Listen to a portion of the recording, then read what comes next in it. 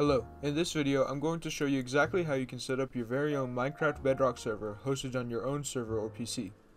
First of all, why should you set up your own server? Having your own server is nice because you and your friends can play on a world together at any time anybody wants to without having to pay for anything.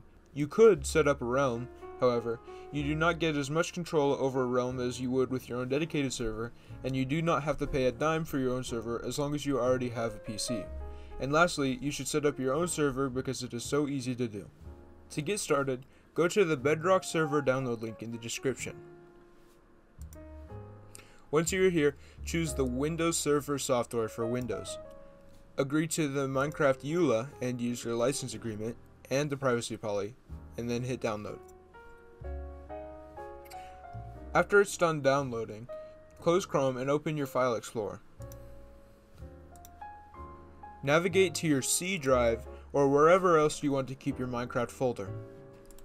Create a new folder, call it something along the lines of Minecraft server folder, and hit enter. Once you have this folder created, go to your downloads folder and you'll see your folder that has your Minecraft Bedrock server. Right click this and hit extract all. Hit the browse button. Go to the folder that you just created for your server. Choose it, select folder, and hit extract. Wait for this to complete. Once your folder is done extracting, it should automatically open up. If not, navigate to the folder that you created and open it. First, let's set up the settings for your server. Open the server.properties folder. If it asks you what to open it with, choose the notepad. Here in the server.properties file, you see several options, all of which control your server. The first thing we're going to start with is the server name. I'm going to name it Kyler's Super Cool Minecraft Server. Next, you can choose your game mode. I'm going to keep it on survival. You can also change the forced game mode value, which can be true or false, and that just makes it to where nobody can go into creative if you have this set to survival. Next, I'm going to keep my difficulty on easy, and the, for allow cheats, I'm going to turn this to true. What this lets me do is it lets me use commands to control the server. For max players, I'm going to change it to 15. Change this based on how powerful you think your computer is and how many players you think you'd be playing on your server. Online mode, keep that to true. Allow list, you can use that to have a whitelist on your server. I'm just going to keep that to false. Server port 19132, keep track of that number. You'll need it later when you're port forwarding. View distance, the default is 32, but I'm going to set it to 16 since a few players will be on my server mostly all the time, at the same time. Tick distance, we can keep the 4. Player idle timeout, that can set to 30. Max threads, you can keep that to 8. For the level name, that will just be the folder name that the server creates of your world. I'm going to keep that to bedrock level. For the level seed, I changed mine to this. Usually it's blank, but I'm using this because this is a world that my friend likes. For default player permission level, you can keep that to member. Basically, the rest of these settings you can keep the same. Choose File, Save As, and hit Save. It'll ask if you want to replace it, hit Yes. Close that out. After you set up all the settings, next we need to port forward. Port forwarding varies from router to router, so look up your model on exactly how to do so. When asked for the port number you want to forward, choose 19132, which is the port that we found in the server.properties file. If you happen to have a Cox router, then you can follow along with me. If not, skip to the time on screen. When you're ready for the Cox app, open it and sign in if you haven't already. Once you are in the app, go to the Connect tab and choose your Wi-Fi name. Under More, choose Advanced Settings and add a port forward. Hit Continue. Under the select device, choose your computer.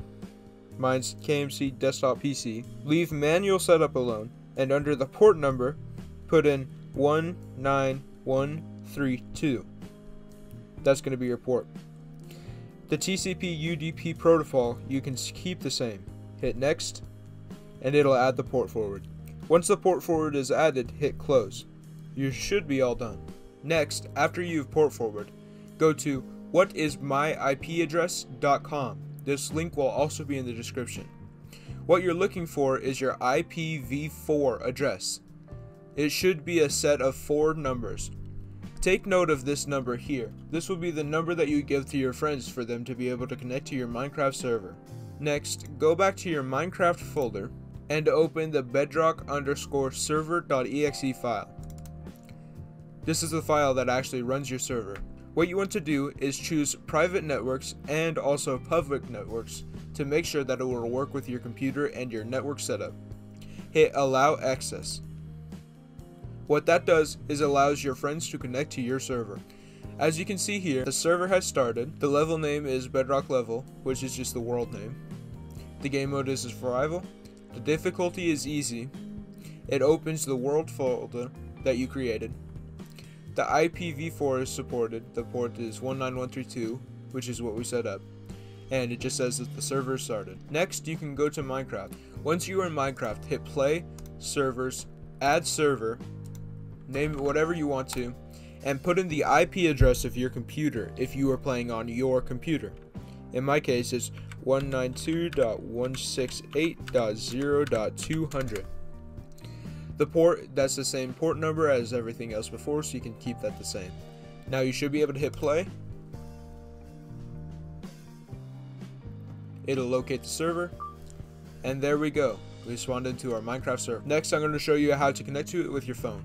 Once you're in Minecraft, hit play, servers, scroll down to the bottom, add server, enter the server name as whatever you want to, and for the IP address, what you want to do is put in, and this is what you'll tell your friends to do, is put in that IP address that you got from whatismyipaddress.com. Your port number should stay the same.